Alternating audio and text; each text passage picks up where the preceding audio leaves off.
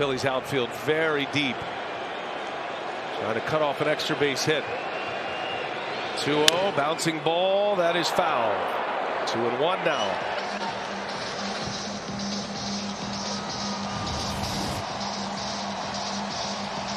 Torey Lovullo.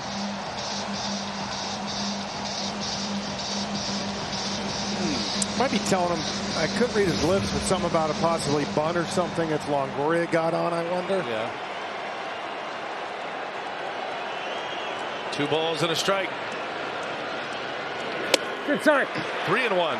Not sure what else in that situation. I wouldn't call for it now, obviously. That, that's a good. No, well, Longoria was still up right. when he ran over there, and it was If 2 1 gets on. count.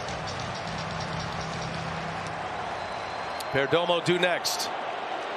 Diamondbacks at the bottom of their order. Kimbrel fires a 3-1. Thomas fouls it away. Jumping on that fastball, but Kimbrel has put that fastball in there twice now. Three and two. Roller coaster ride with Craig Kimbrel on the mound.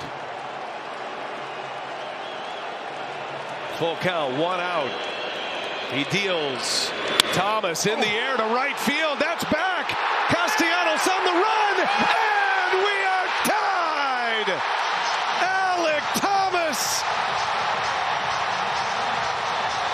takes the ride of his life.